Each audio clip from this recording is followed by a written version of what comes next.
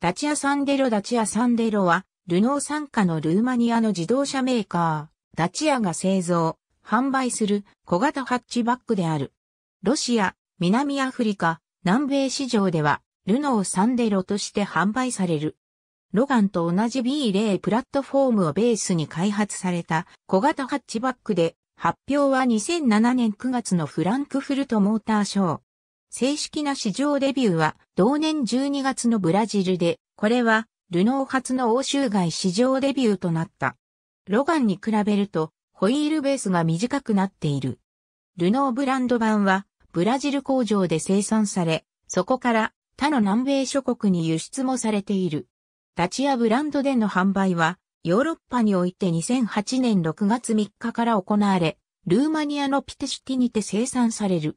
その他にコロンビアエンビガード、ロシアモスクワ、モロッコカサブランカ、南アフリカプレトリアでも生産される。ダチアブランドは南米諸国においての認知度がかなり低いため、南米諸国ではすでにブランドを確立しているルノーブランドでの投入となった。ダチア版とルノー版との違いは、エンジンやフロントグリルなど、ごく小規模に止まる。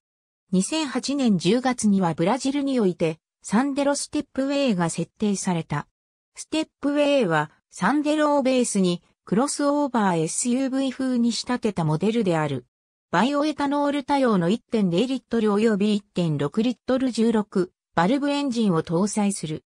2011年5月、ブラジルにおいて、ルノーサンデロ及びサンデロステップウェイのフェイスリフト版が発表された。2012年9月のパリモーターショーにて、ステップウェイ仕様と共に発表。